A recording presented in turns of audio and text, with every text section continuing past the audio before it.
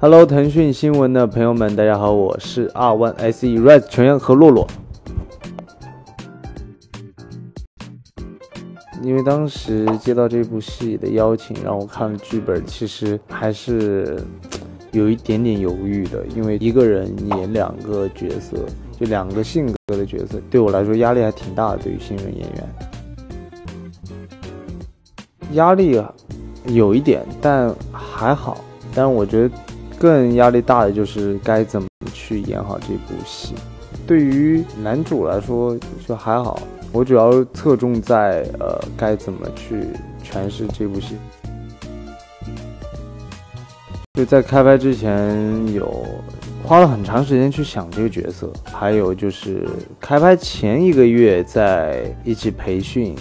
然后每天拍完以因为我是请了表演老师进组嘛，每天拍完戏以后还需要去酒店跟老师一起去学习，一起去沟通这个角色。朋友好像没有，但是有跟明道老师去聊，呃，我们两个人物之间的关系。他就说我跟他的角色关系就是比较像那种，就班主任跟学生的关系。他是班主任，但是我就不听他的话，但是还是要给他面子，就这样子的一一种关系。有啊，就是拍吻戏嘛，然后还有就是有很多第一次，我在那个剧里面还学了钢琴，然后还有就是跳水，还挺尴尬的。而且当时我给我的工作人员看了，然后他们都说我就是小学鸡式那种吻戏，就是只是碰到贴着，也不会动不会转，太小学鸡了，都说我演的不好。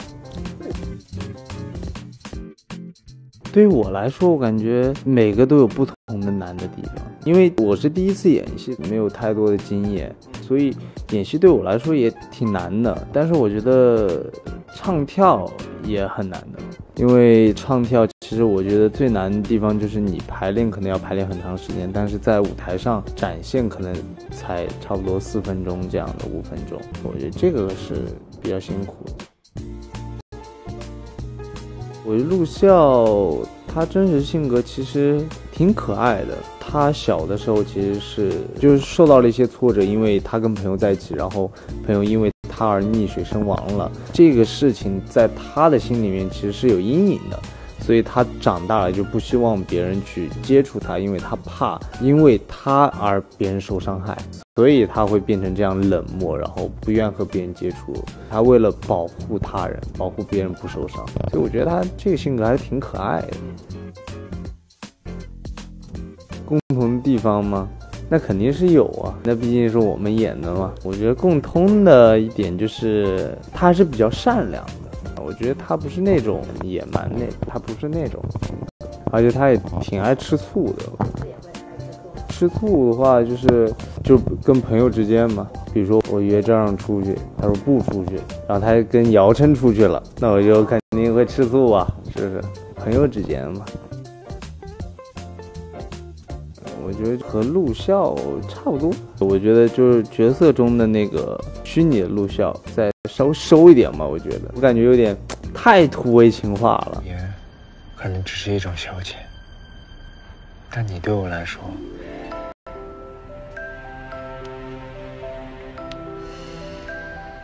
你是我的全世界。不管你让我等多久，我都不会觉得久的。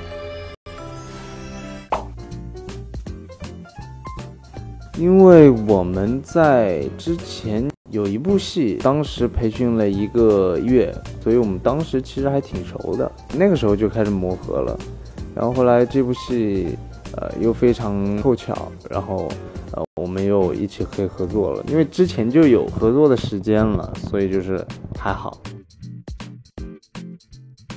觉得原声的话可能会给大家印象更深刻一点。然后我觉得还有更大的进步空间吧，我觉得可以更加努力，更加做好。打六十分，如果满分一百的话，因为毕竟是我第一次去尝试拍戏，在懵懂中演的话，还是有一点生疏。啊，那肯定，因为，呃，我之前其实就很想去尝试演戏。我在五年前，我在进公司之前，我就挺想去尝试演戏的，所以我才去面试这个我们的公司。后来是凑巧去唱跳了。其实我之前是一直抱着演戏的心态去面试，本身就挺喜欢演戏，因为之前就很喜欢成龙大哥，看他电影。挺想尝试那种古风的，就那种打打杀杀的。